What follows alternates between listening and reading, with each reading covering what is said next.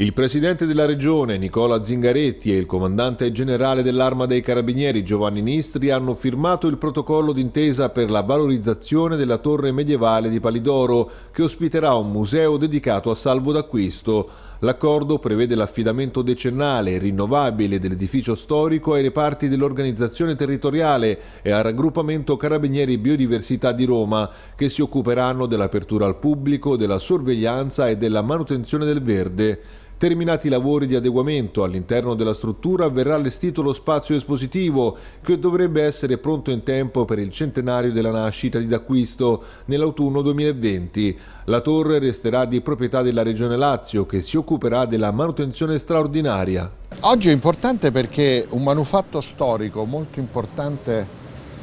eh, anche per la storia d'Italia riprenderà vita nella memoria di Salvo d'Acquisto eh, è un altro segnale della collaborazione tra l'Arma dei Carabinieri e la Regione che ci ha portato in questi anni non solo a valorizzare beni immobili ma anche a rafforzare la collaborazione per la sicurezza perché sulla sicurezza non occorrono slogan ma occorrono fatti, parlarsi e, e lavorare insieme come in questo caso è avvenuto con l'Arma dei Carabinieri e in altri casi con altre forze dell'ordine.